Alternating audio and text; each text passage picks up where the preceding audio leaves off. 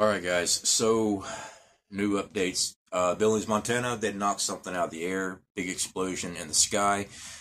Uh, I picked up a video off of Twitter that was actually sent to me by um, Central Banker, WW3. He's another YouTuber, great YouTuber. He sent it to me on Twitter. It clearly shows something smoking through the sky and knocking out. uh, There's an explosion in the air. What has me wondering about this, this is supposed to be Billings, Montana. The last known China balloon that we've been tracking should be um, uh, should be over there near St. Louis. Right, and it should be Kansas City. It should be away from Billings. So, makes me wonder what they knocked out. Are there multiples? We just got three reports. Uh, should be a pop up there. Uh, that is the Washington Post. That is, they said that there is three that they know of that's being tracked. One was Canada, one United States, and one Latin America. I'm thinking Central America. Uh, of these high altitude surveillance balloons from China. Now we just knocked one out about an hour ago. Knocked one out above Billings, Montana. So how many are there? How many? How many are there? One, three, a bunch.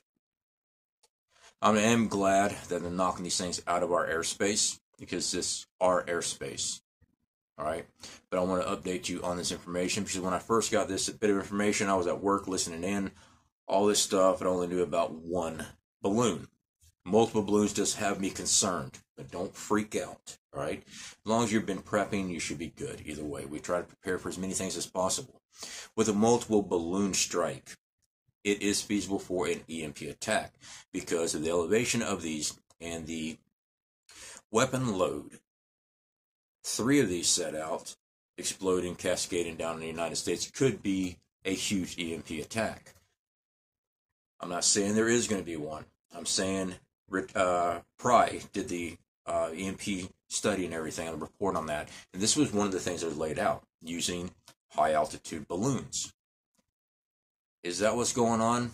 Odds are no. Odds are is the surveillance surveillance balloons or dry run for this.